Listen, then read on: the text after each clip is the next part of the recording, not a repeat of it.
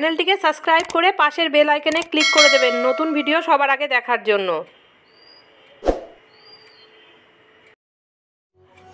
নমস্কার বন্ধুরা, আজ আমরা যাচ্ছি উত্তরবঙ্গের দ্বিতীয় বৃহত্তম মেলায়, বললা মেলায়। বাড়িতে মায়ের পুজো দিলাম।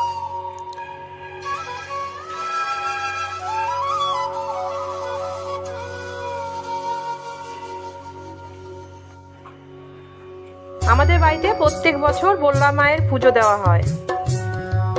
তারপর আমরা মন্দিরে যাই।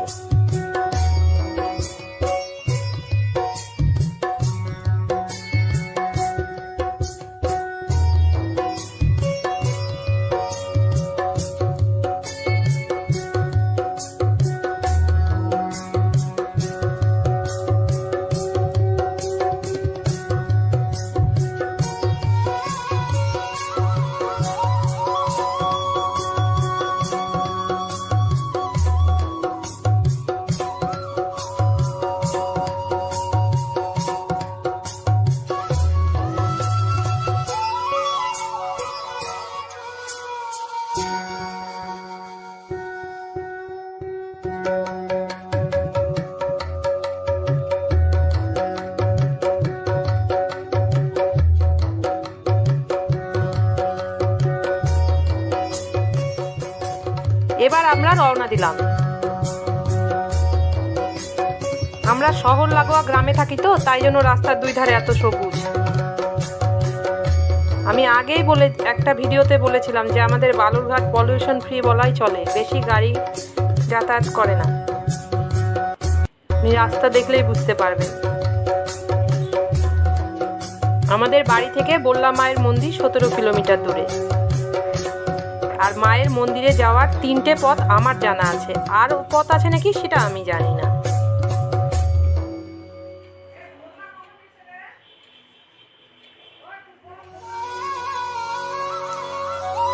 কথিত আছে, কোনো এক জমিদার এই মায়ের পুজো শুরু করেছিলেন। আবার কেউ কেউ বলে যে ডাকাতরা এই পুজো করতেন। এখানে মা রক্ষাকালী রূপে পূজিতা। তবে মায়ের গায়ের রং শ্যামবর্ণা। সাড়ে সাত হাত মায়ের উচ্চতা। এই মেলায় প্রচুর দর্শনার্থীর ভিড় ভিড় হয়। কারণ মা কাউকে খালি হাতে ফেরায় না। শুধু পশ্চিমবঙ্গ না, পশ্চিমবঙ্গের বাইরে থেকেও লোক আসে। অত মানুষের ভিড় হয় বলে প্রশাসন এবার মেলা বসার পারমিশন দেয়নি। এমনি পুজোতেই যত লোক হবে, আমরা পুজোর দিনই সকালবেলা রওনা দিয়েছি। কারণ রাতের আপনাদের সমস্তটা ঘুরিয়ে দেখাতে পারব না অত লোকের মধ্যে, তাই সকালবেলা বেরিয়ে দেখি কতটা দেখানো যায়।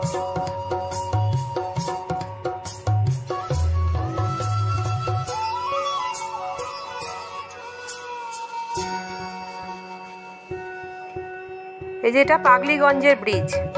এই নদীটার নাম আত্রাই, বালুরঘাটের প্রাণ। এই নদীকে ঘিরেই দুই ধারে গড়ে উঠেছে বালুরঘাট শহর। এই ব্রিজটা নতুন তৈরি। এই দিক দিয়ে গেলে বললা মায়ের মন্দিরটা একটু কাছে পড়ে। এমনি আমাদেরকে বাইক রেখে হেঁটে যেতে হবে, কারণ ওখানে কোনো গাড়ি বা বাইক নিয়ে যাওয়ার পারমিশন নেই। অনেকটা দূরে রেখে দিতে হয়।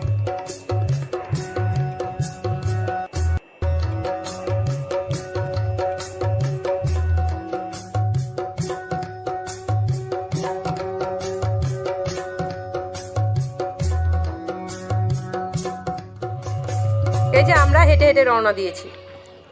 এখান থেকে মায়ের মন্দির দেড় থেকে দুই কিলোমিটার। এটা একটা গ্রামের মধ্যে দিয়ে রাস্তা। তাও দেখুন কত লোক। আর দুই ধারে সবুজ। এ দেখুন কত কচুরি পানা। ফুলগুলো দেখতে দারুণ।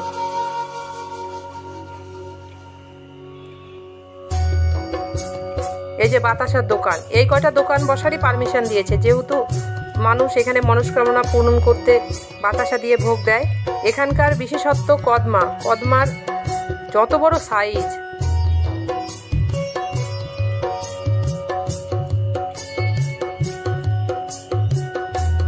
এটাও মন্দির।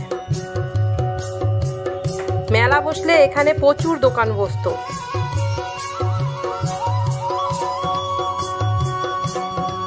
এই যে ছোট ছোট মূর্তিগুলো দেখছেন, এটা দিয়ে কি হয়? পরে বলব।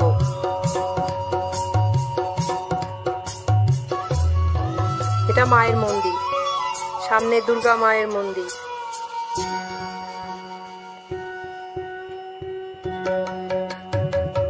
এটা শিব মন্দির। আর এটা হোটেল, এখানে বাইরে থেকে লোক এসে থাকে। পুজোর দিন সকালেই এত এটা পুকুর, এখানে মায়ের বিসর্জন দেওয়া হয়। শুক্রবার দিন পুজো হয় আর সোমবার দিন মায়ের বিসর্জন হয়। কত ছোট ছোট মূর্তি। মাকে গহনা পরানো হচ্ছে। ভিতরে যাওয়া বারণ, তাই অনেক দূর থেকে আমাদেরকে ভিডিও করতে হলো।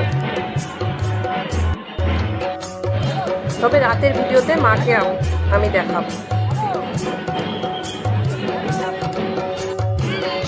ভিডিওটা স্কিপ করে যাবেন না। পুরোটা দেখুন, মাকে দেখতে পাবেন।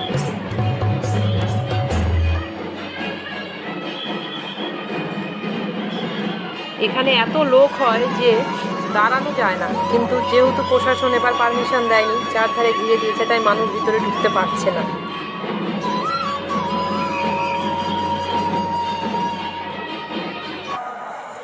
এ দেখুন, মায়ের পুজো হচ্ছে।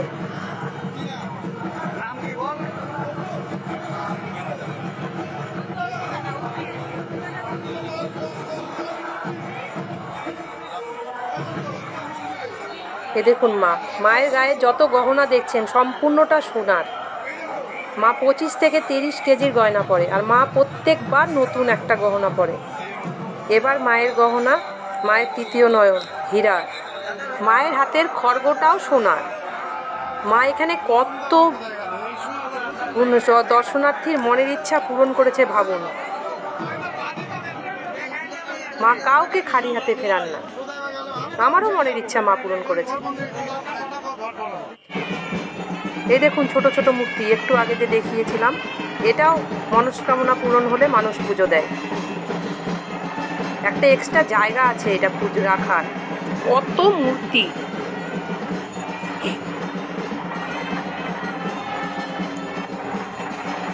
এখানে মায়ের, এখানে বলিও হয়। এবার কতগুলো বলি হয়েছে জানি না, তবে সকাল হয়ে যায় বলি। শেষ হতে শেষ হতে।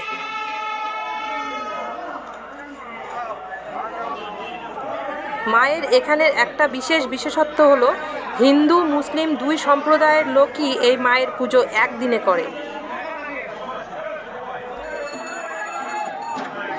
সারা বছর প্রত্যেক সপ্তাহে শুক্রবারে এখানে মায়ের পুজো হয়, তবে মায়ের মূর্তি থাকে না, মূর্তি তো বিসর্জন হয়ে যায়।